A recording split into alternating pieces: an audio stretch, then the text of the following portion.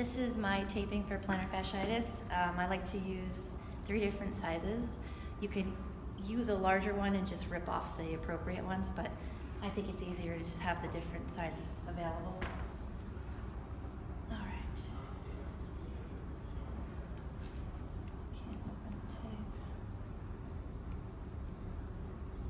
Sorry, I'm having technical difficulty. Okay. Two anchors. One behind the heel. One along the met. Okay. Now, hold the foot steady. Just like that. And now we're going to do a series of teardrops. Starting from the first, I'm putting pressure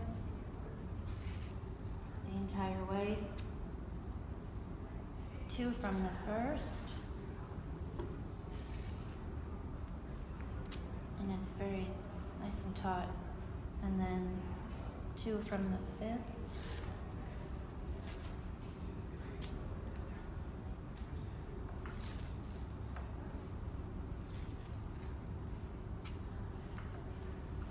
And then I'm gonna do three from the first met, fanning out. One.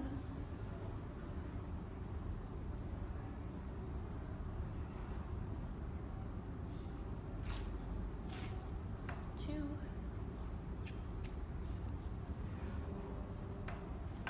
And three. Okay, now I'm gonna make the arches. Now I get my bigger tape. And I'm gonna apply force up and then tack it down. I'm gonna overlap halfway the whole way up.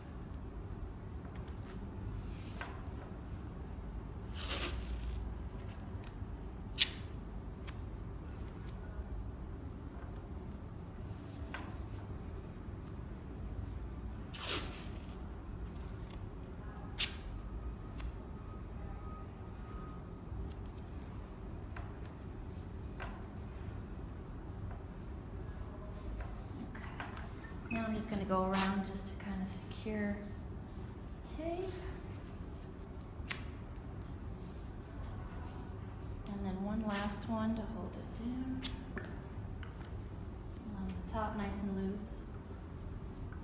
And that's it. And you wanna try not to get too many wrinkles underneath so it doesn't irritate the skin. And that's it.